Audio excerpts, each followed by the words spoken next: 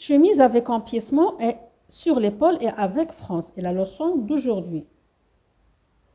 On va tracer d'abord le patron sans pince. Je vais vous laisser le lien de cette leçon dans la boîte de description. Et voilà sa miniature. Aussi, je vais vous laisser le lien de la leçon précédente, chemise avec empiècement sur l'épaule, dans la boîte de description. C'est-à-dire les premières étapes de créer une ou un empiècement sur l'épaule du devant et dos. On va descendre par 3 cm sur le devant et 7 cm au milieu du dos. Ici, on va couper le patron en deux pour y ajouter la valeur des frances. Alors, on a le devant avec les boutonnières ou la boutonnière on va placer le deuxième morceau du côté de la chemise et on va le déplacer par une valeur qui est égale ou, qui varie entre 2 à 4 cm. En gardant toujours les lignes horizontaux sur le même ou sur la même ligne. On ajoute les centimètres de couture. Vous pouvez voir les étapes dans la leçon comment appliquer le modèle sur le tissu. Je vais aussi vous laisser le lien dans la boîte de description. Alors pour le dos, on va mettre le milieu du patron sur la pliure tissu.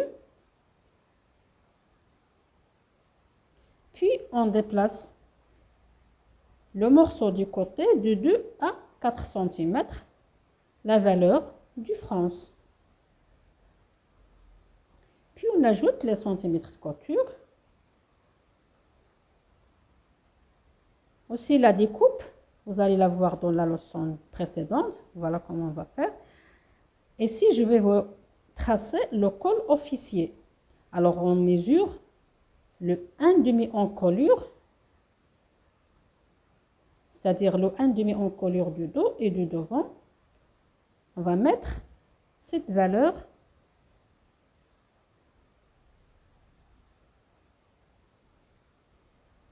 puis ici 3 cm la largeur du, du col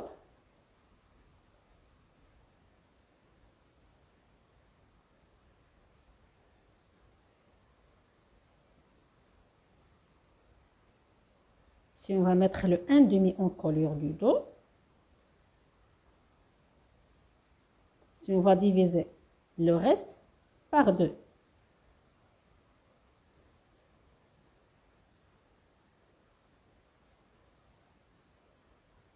Si on va ajouter 1,5, la valeur de la boutonnière.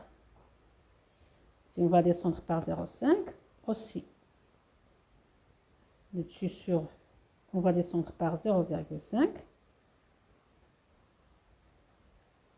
Si on va monter, par 1 cm, puis on va relier 0,5 à 1 cm. Ici, on va garder 3 cm, puis on marque ici un angle droit. Ben voilà, le col officier, on peut le laisser pointu, puis on peut l'arrondir un peu. C'est-à-dire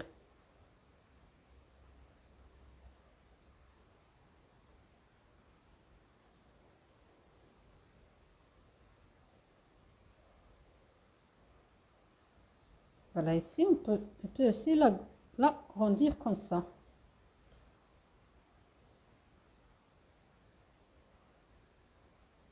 Voilà le col officier.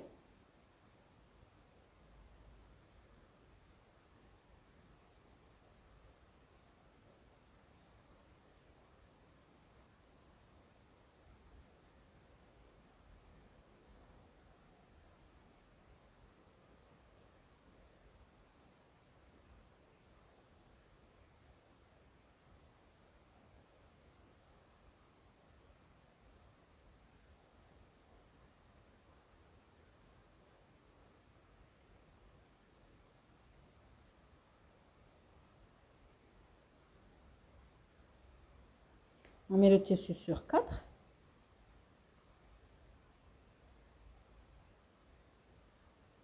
Le premier morceau, euh, on va le laisser simple. Le deuxième, on va l'entoiler. Soit avec le vlisseline ou avec une toile collante.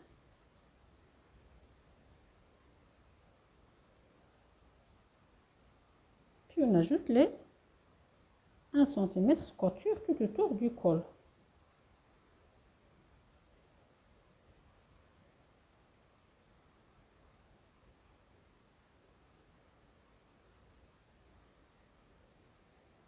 Voilà, ici, on va le coudre le 1 demi encolure du dos.